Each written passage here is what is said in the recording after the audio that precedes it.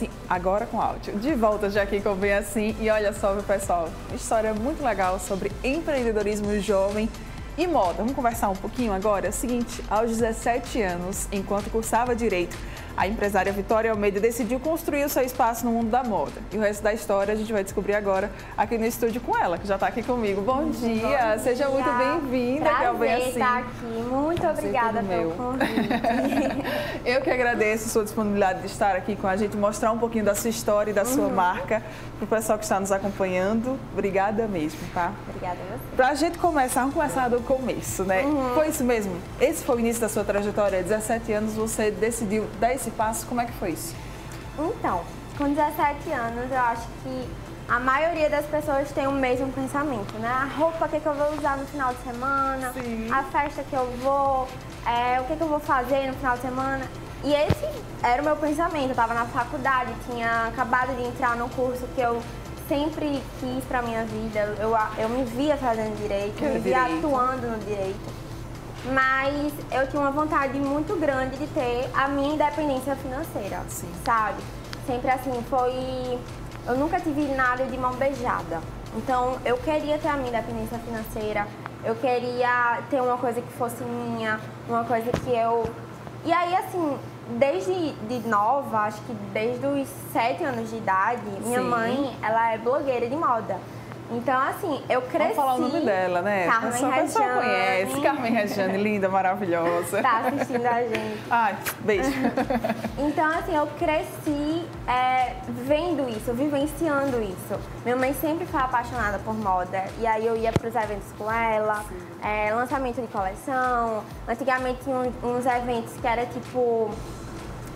Se não me engano, era Trend House o nome e aí tinha um, um, uns desfiles de marcas nacionais, internacionais. E eu sempre, desde pequena, eu me via gostando muito de moda.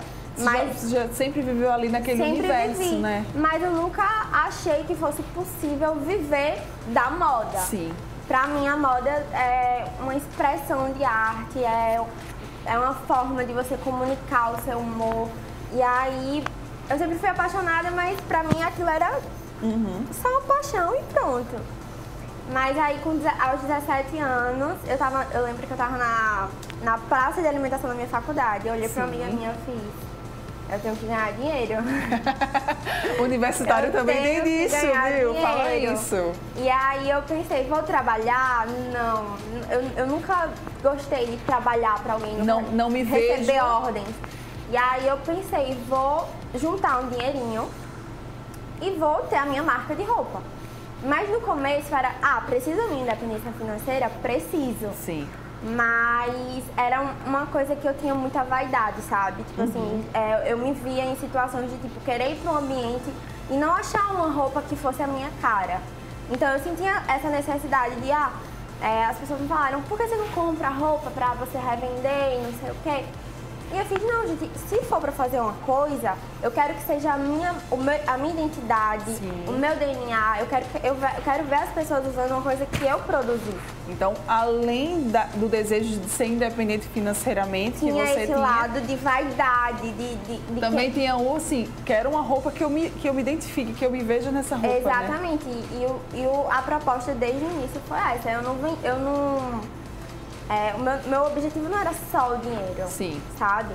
Era ver as pessoas usando. Para minha maior realização era ver as pessoas usando uma coisa que eu produzi, que eu fiz parte do, do processo, Sim. que eu escolhi o tecido, que eu é, participei da produção, que eu mudei isso, que eu mudei aquilo. Então, tipo assim, eu juntei um, um dinheiro que eu não, eu não falei para os meus pais, porque eu não queria gerar uma expectativa, sabe? Sim. Nossa, é aquela cobrança. Tudo no segredo. Tudo no segredo. eu não queria aquela cobrança, e aí, vendeu? E aí, não sei o quê. E eu fiz, juntei um dinheiro e, e, assim, pra mim foi muito difícil porque eu tinha 17 anos. Sim. E eu não tinha carro, então eu tive que sair em Maceió inteira atrás de costureira. Uma costureira que, que eu gostasse, que eu me identificasse. Sem dizer aos pais. Sem dizer aos pais. Tudo como, tudo como diz hoje em dia, tudo no sigilo. Tudo no sigilo. Tudo no sigilo. E aí é, eu arrumei um dinheirinho, comprei um pouquinho de tecido. É, não foi fácil, né? Sim. Ao decorrer do caminho, eu tive que perder tecido, fiz peças que não ficaram legais. E aí eu fiquei, meu Deus, é tão difícil, mas quando eu via uma peça que tinha ficado legal, pra mim era a minha realização.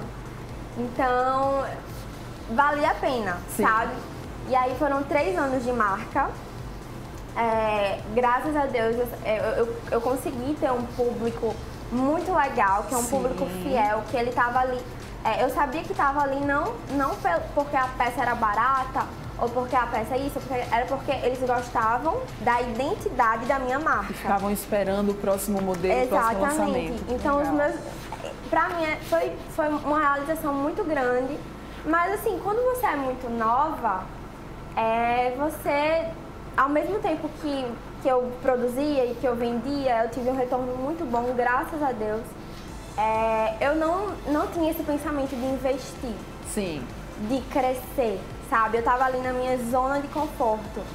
E isso é perigoso, né? Quando você tá ali na sua zona de conforto.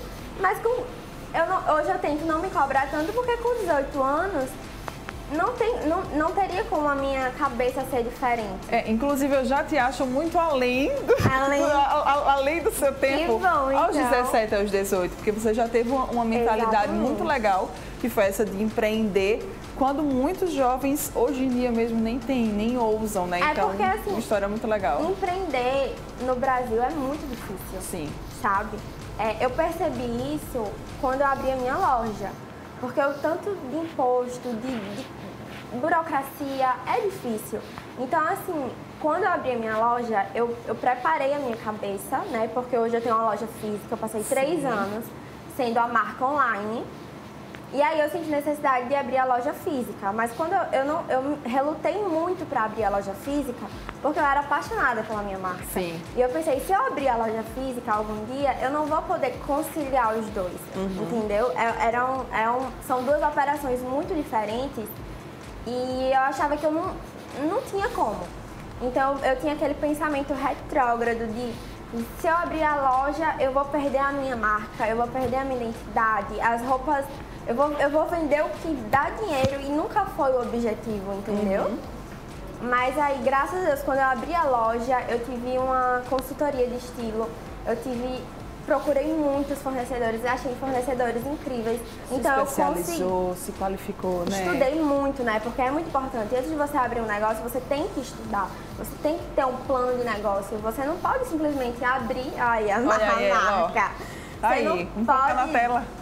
Você não pode simplesmente abrir e, e vai deixando. Então, é, eu optei por vender multimarcas. Sim. E foi uma das melhores escolhas que eu tive, porque a minha marca, é, eu tinha, eu tinha muito, muita, muitas felicidades, mas eu tinha muitas frustrações também. Sim. Já aconteceu de eu fazer uma coleção de 50, de 50 peças e 20 não, não darem certo Sim. e eu ter que descartar. Então, era uma, uma era uma, uma preocupação. Uhum. Então, quando eu encontrei os fornecedores certos, porque eu prezo muito, eu sempre prezei por qualidade Sim. e identidade. Eu não quero que as pessoas é, frequentem a minha loja é, por, por, qualquer motivo. Eu quero que elas frequentem a minha loja por causa da identidade da loja. Sim. Então você pode ver que tipo assim as peças sempre sempre têm o mesmo estilo, é, não fogem da da minha ideia principal que era ter o meu, o meu DNA. E eu sempre falei, eu nunca vou colocar uma coisa para vender que eu não usaria. Sim. Entendeu? E é isso, eu prezo muito pela qualidade, é, pelo design das roupas, eu gosto de roupa diferente. Então, assim, eu tô muito realizada com a minha. Acho que vai. Acho que tem um mês que eu abri a loja. Sim. E eu tô muito realizada. Eu tive um, um retorno que é, foi muito legal, muito sabe? Que aula, viu, minha gente? Que aula! E tá só começando. Aproveitando, já vamos logo então chamar a nossa modelo linda, belíssima, pra gente mostrar um dos modelos da loja que a Vitória pode ir explicando, daqui a pouco a gente conversa mais um pouquinho uhum. e por aí vai. Vamos lá, vem mais pra cá, pessoal. Então, é, eu escolhi trazer Isso, esse linda. vestido aqui. A modelo ajuda, né? Mas eu escolhi trazer esse vestido aqui porque Semana Santa tá chegando. Sim. É, algumas pessoas vão viajar. viajar, vão pra festa, vão curtir. E eu acho que esse modelo é muito rico em detalhes. É um vestido Sim. hot paint. Ele tem essa estampa meio transparente de poá. Uhum. pode das costas, e ele tem esse detalhe nu nas costas também. E eu acho ele maravilhoso, assim, se eu fosse para alguma festa, beach club, essas Sim. festas que a gente tem mais aqui em Maceió, seria com certeza seria a minha escolha. É um Belíssimo. dos meus preferidos da vida. O legal que eu tô achando, pelo que eu tô vendo, você pode me corrigir se eu estiver equivocada, mas a loja ela tem peças que são atemporais, né? Atemporais. Que dá para usar tanto no inverno como também no verão. Exatamente. Principalmente aqui em Maceió, né? Isso é muito bom. É, eu tento trazer essa diversificação, Sim. sabe? Porque antes o meu público era um público jovem. Então, quando eu abri a loja, eu, eu pensei, não, vamos, vamos ter aqui para todo tipo de, de, de público, né? Uhum. Não só o jovem. Muito e bem. aí esse vestido eu acho ele incrível, eu acho ele maravilhoso, eu acho que ele, ele veste super bem no corpo.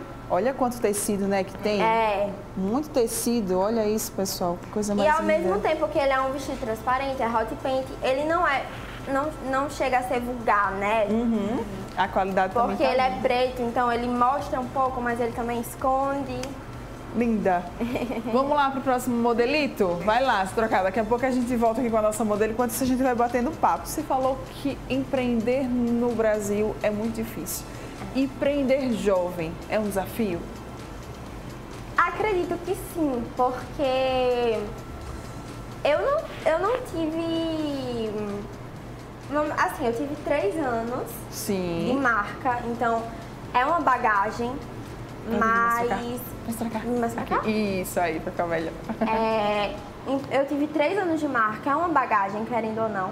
Mas quando você abre uma loja, você vem junto com várias responsabilidades. Sim. Conta pra pagar, é, boleto, tudo que eu não tinha antes, sabe? E aí você precisa ter a cabeça muito centrada uhum. para você focar no que realmente importa. Sim. Então, assim, eu acho que eu amadureci, eu costumo dizer que eu amadureci uns três anos desde que eu abri a loja, porque todas as minhas prioridades mudaram. Então, eu acho que se você é jovem, é, não vamos generalizar, tem muitos jovens extremamente inteligentes que querem empreender, que têm força de vontade. Eu acho que o único conselho que eu posso dar é a consistência, sabe? O fato de você. Uma amiga minha me deu um conselho, ó. Uma amiga minha que tem loja. Sim. Amiga, vão ter dias que você não vai vender nada e vão ter dias que você vai vender. Vai ter cliente que vai entrar na sua loja, não vai comprar nada e tá tudo bem. Entendeu? Então você não vai abrir o, o seu negócio pensando que vai ser fácil. E que vai ser maravilhoso todos os dias, Algum né? mês você pode lucrar muito, mas vai ter mês que não vai ser tão legal, entendeu? E aí eu já entrei com essa cabeça, muito com isso na cabeça, então eu não tive muita expectativa, assim, sabe? Não me frustra. Tem dias que eu vendo muito, mas tem Sim. dias que eu quase não vendo e tá tudo bem. Então eu acho assim que você não pode pilhar com isso, você tem que ser centrada e tem que saber, ó, não é normal você não vender nunca. Se você não está vendendo nunca, você tem que mudar a sua estratégia. Você tem que investir numa divulgação, no marketing. É, entra toda aquela parte de, de divulgação mesmo, né? uhum. né? Que hoje a, a internet ajuda muito a gente nisso, porque é um meio de divulgação barato, né? E que qualquer pessoa pode fazer. Qualquer pessoa, eu posso fazer, você pode fazer. A gente pode pegar o celular agora, gravar uma story. E eu acho que é isso, eu falo pra todo mundo. Se você tem um negócio, não existe, tipo, você não querer aparecer. Você Sim. tem que aparecer. Porque as pessoas querem ver o seu negócio. Então, eu, eu, acho que, respondendo sua pergunta, o maior desafio de empreender jovem é você ter esse foco. Sim, persistir, ter, né? É não, persistir. Não, não desistir na, na, na, primeira dificuldade, quando começarem a aparecer os exatamente. obstáculos. Aparece uma festa e, ai, que poxa, eu queria muito ir. Não pode, trabalha, entendeu? Eu tô, eu tô muito assim, é, eu, eu acho que eu amadureci, tipo assim, eu tô uma velha hoje.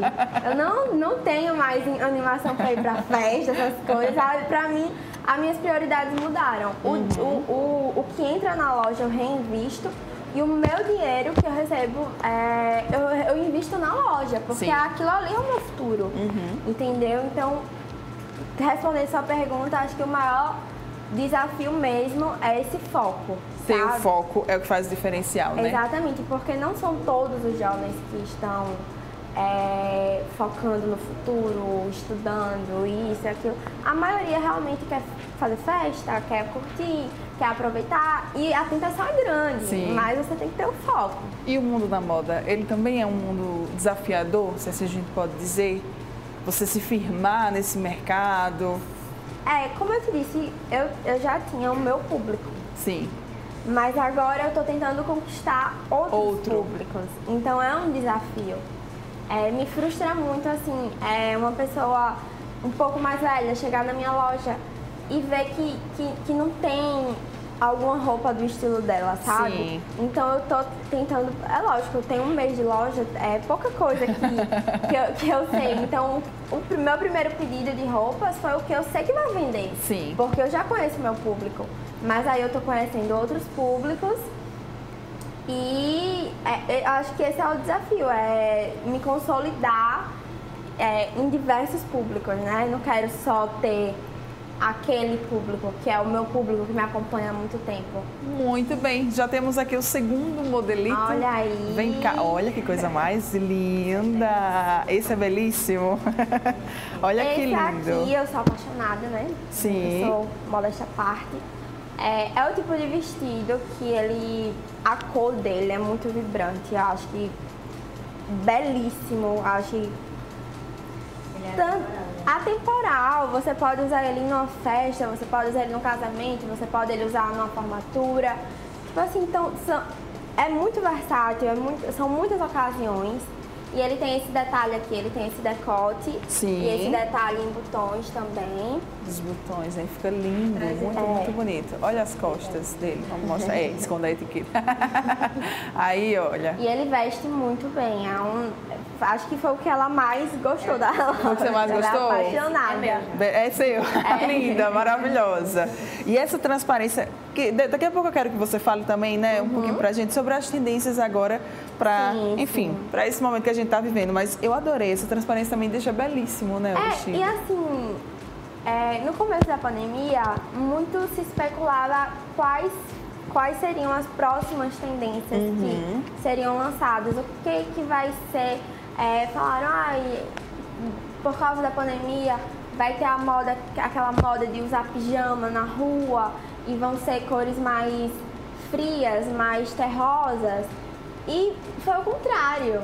É, a pandemia, justamente, na, foi na pandemia que voltou com tudo o color block, Sim, as, cores, as cores, cores vibrantes, cores alegres, rosa, laranja, é, esse azul Tiffany. Então, assim, tá muito em alta essa, essas cores. E tá muito em alta também você fazer composição com cores diferentes. Uhum. Tipo assim, eu amo rosa com laranja, Sim. rosa com vermelho. Eu amo. E aí é isso. Muito bem. Tem mais um? Vamos lá? Tem. Vamos, vamos lá para o próximo então? Pra gente. Ah, vai lá, se trocar linda. Vai lá. Enquanto isso, a gente continua aqui no nosso bate-papo Queria saber da primeira coleção. Como é que foi para você desenhar, pensar? Oh, eu ouvi uma frase de uma pessoa que eu admiro muito, que é se você não tem vergonha do seu primeiro produto, você fez errado. Mativosa, minha diva. Você tem vergonha? Eu não tenho vergonha, mas eu olho e vejo. Eu faria tanta coisa, coisa diferente. diferente. Olha assim. Eu olho e não, não reconheço o meu estilo, sabe? Sim. Mas é a minha história, então é isso. Então vamos lá dar mais uma olhadinha aqui, ó. Essa aqui é a coleção nova. Ah, que legal. Vamos lá, então vamos ver aqui a coleção nova. Ontem. Sim. Você falou de alfaiataria, tá muito em alta a alfaiataria? Tá muito em alta. Tá. A alfaiataria é elegante, né? Então, Sim. mas tá muito em alta. O que tá muito em alta são quanto mais curto melhor. Quanto mais curto melhor. Okay. Quanto mais curto melhor. Então, é, você pode ver, a moda é cíclica, né? Sim. Ela. É, você pode ver tendências do ano de 2000 voltando agora. Uhum. Calça de cintura baixa, é, mini saia. Mini saia. Então, quanto mais curto, melhor.